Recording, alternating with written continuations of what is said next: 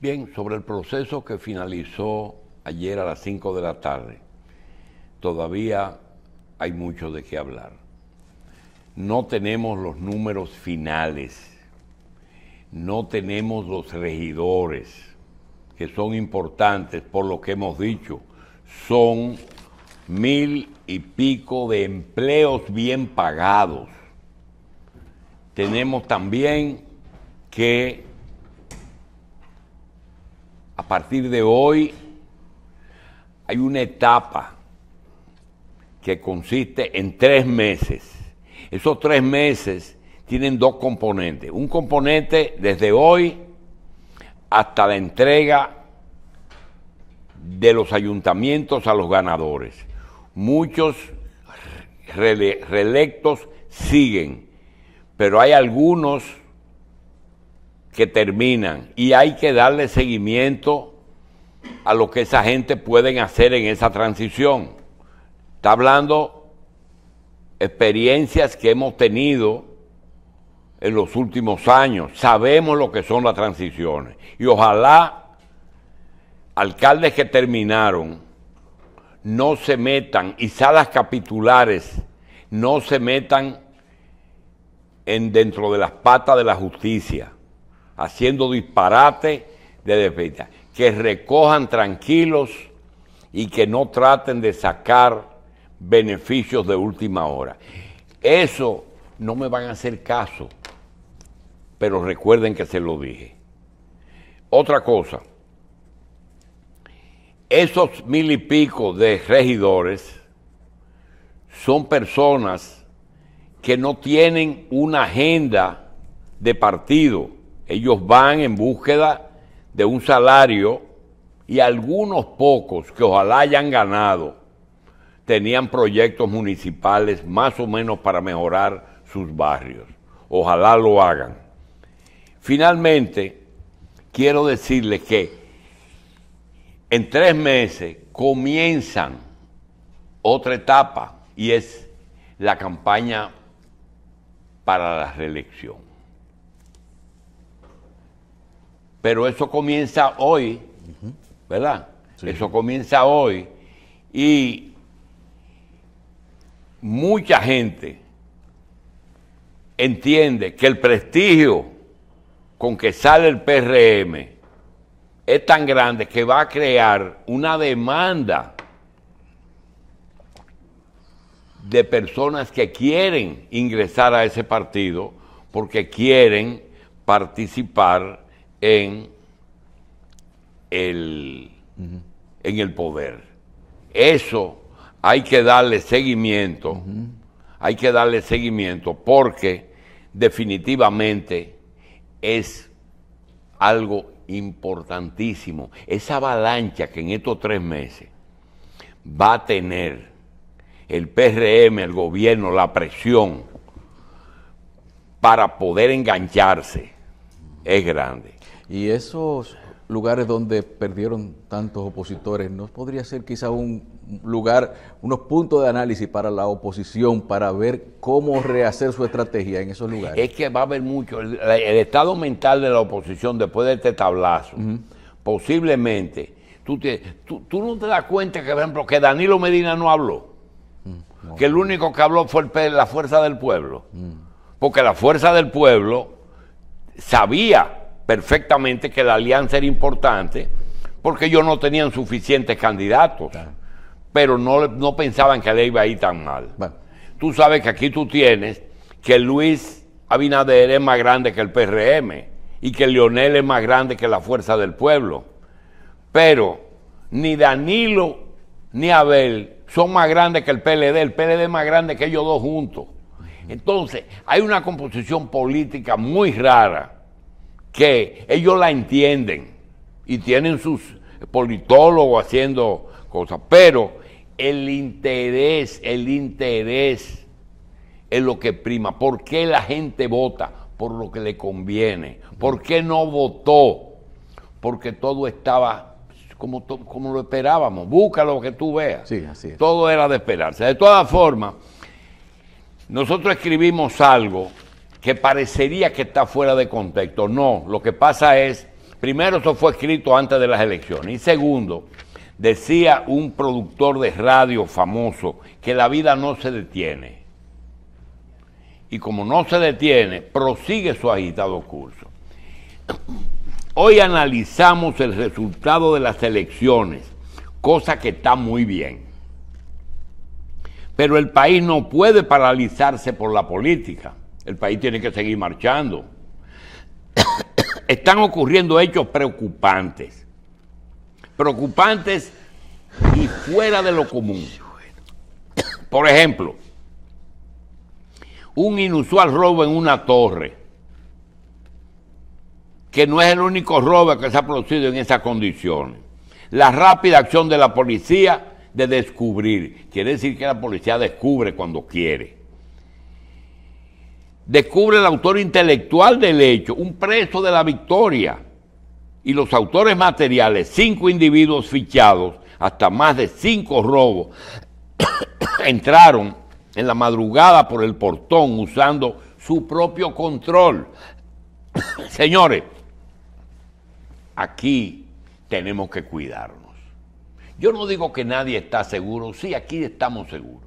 El que toma medidas está seguro, pero tenemos que tomar medidas. La delincuencia está muy modernizada y no solamente está en la computadora. Queríamos decir eso porque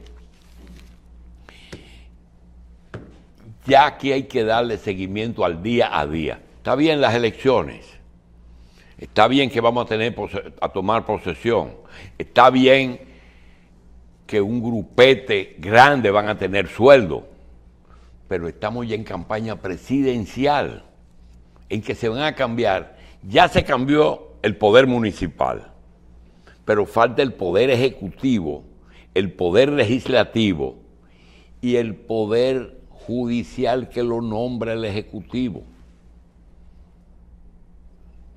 El presidente del Consejo de la Magistratura es el presidente de la República. De modo que vamos a prepararnos para, que lo nos, para lo que nos espera. Hay, una parte que mencionaste con lo de la lo de esto del atraco. Tú sabes que nosotros tenemos varios programas hablando del problema de las cárceles. Y vimos declaraciones esta semana de que el encargado de, prisiones dice que va a tratar de eliminar los teléfonos de las cárceles. Señor, el tema de las prisiones, reiteramos, es un problema serio en nuestro país. Y eso de los atracos, mira, aquí hay una evolución, y no es nada más en nuestro país, es en el mundo, con el tema de la tecnología y, y, de la forma de hacer negocio. Porque eso no se origina con que ellos tenían el control de esos siete hombres para pasarse la noche en un edificio. Parece ser que la contratación de esa de, de entrada de ahí se hizo por un Airbnb. Entonces, cuando tú tienes edificios multifamiliares, que algunos de ellos tienen la, la, la forma de poder vender sus sus apartamentos por noche o por día o por semana, por eso. ¿Cuál es la forma cuando tú contratas por un internet, sin tú dar tu cara, un, apartamento? Te dan una clave de un control, te mandan la llave de alguna forma. O sea, tú entras al edificio como que tú eres propietario.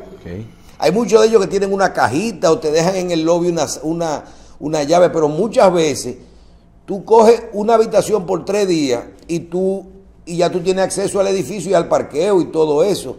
¿Cómo va a cambiar esto? Porque no es solo el tema de que ellos entraron o de que eso estaba dirigido desde la cárcel. O sea, aquí hay que analizar mucho cómo la tecnología, cuáles son los controles que eso va a hacer. Mira, aquí hay dos acontecimientos que sucedieron el mes pasado. El del atraco de la torre, aquí va a haber que analizar, se pruebe o no que fue con la tarjeta del Airbnb. Vamos a tener que poner controles en los edificios con respecto al método de acceso de los Airbnb. Va a haber que poner controles. Lo otro es las fumigaciones. Eso ya no es, desde el mes pasado, ya no es lo mismo de antes.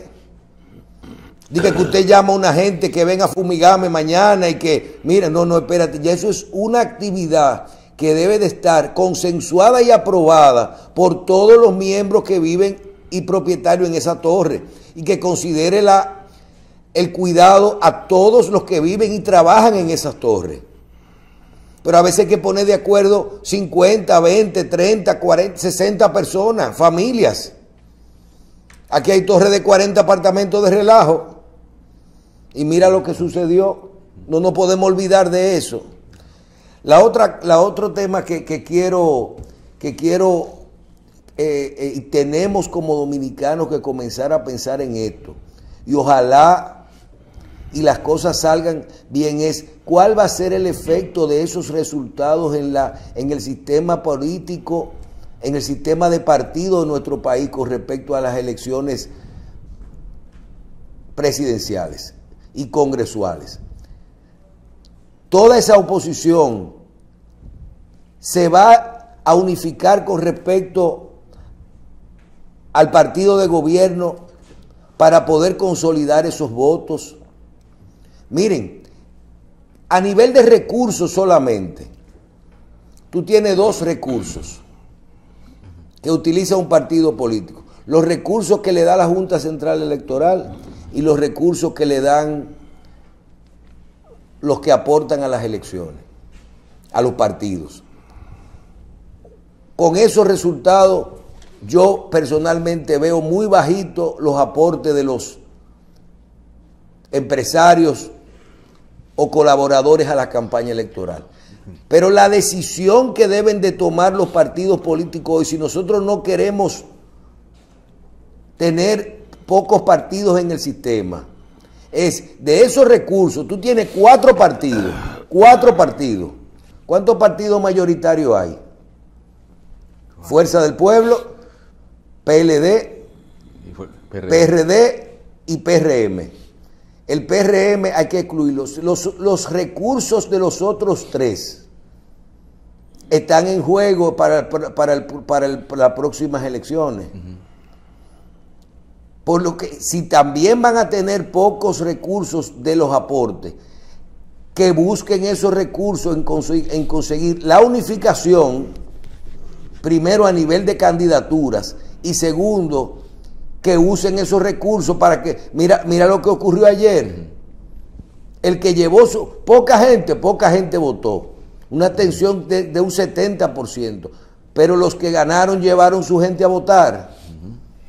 No estamos hablando de otra, estamos hablando de que esos recursos que están aquí, la cantidad de candidatos que se estaban quejando ayer y antes de ayer de que los, no, no recibieron fondos, ni una ayuda de un bicocho de, su, de, su, de sus partidos. Eso no puede ocurrir en las elecciones presidenciales porque aquí no necesariamente estamos hablando de compra de votos y de cédula y todo eso. Estamos hablando de que usted pasa por un recinto electoral y esos delegados que están ahí, uno pensaba de que es la comida, el picapollo. Eso no es de un picapollo. Cuando tú dices que se comienza a votar a las 7 de la mañana y se termina a las 5 de la tarde, solamente en comida, yo vi a, a las 8 y media de la mañana frente a un recinto electoral que salieron de todos los partidos y de la Junta a comerse unos desayunos que le estaban llevando. Un desayuno con mangú, salami, huevo, a, esa hora arranca con 200 billetes de comida. ¿Por cuánto? Pero esa gente para ir a votar, aunque yo voy a dedicar un día de mi vida para ir a, ser delegado, a ir a, trabajar en la Junta, a trabajar afuera para preguntarle a la gente y asesorar a la gente a cómo trabaja. Todo eso cuesta y ese dinero tiene que llegar.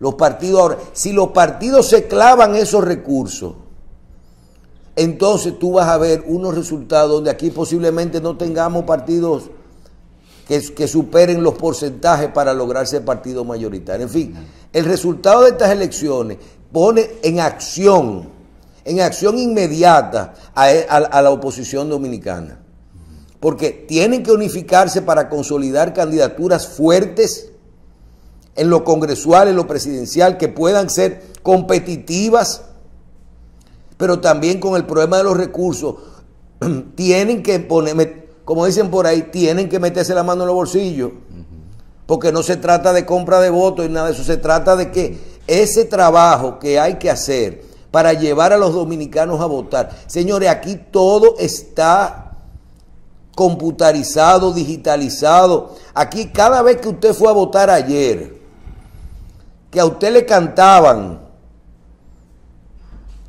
su nombre en voz alta, esos representantes que están ahí al lado de los partidos políticos que lo están buscando, ¿usted sabe dónde que lo están buscando? En su padrón. Es en su padrón. Entonces dice, ah, llegó fulano de tal. Déjame ver, ah, no, no está aquí. Lo buscan en el de la Junta, pero también lo buscan en su padrón. No está aquí. Entonces, vamos a buscarlos en el padrón de los otros, que ellos lo tienen. Ah, apareció que Carlos no está en este padrón, pero está en el del otro. Y ellos llevan un conteo paralelo al resultado de las elecciones. Y si no aparece en ninguno de los padrones, entonces se va a un listado del votante que no tiene afiliación política.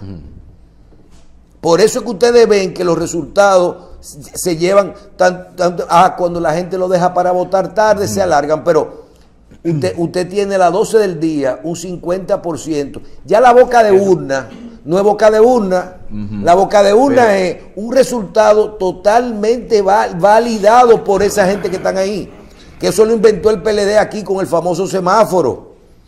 ¿Tú te acuerdas del semáforo? Sí. Que era un, un programa en un celular que te decía, Carlos, Carlos vota en tal mesa, Carlos está inscrito en tal partido. Y a, ese, a Carlos le ponían un director de, de, una zona o una persona que estaba encargado de 10 mesas y cada mesa de una mesa y esa mesa tenía tanta gente y esa persona estaban divididos y su trabajo era con nombre y apellido, estén donde estén esas personas, lograr que vayan a votar ese día.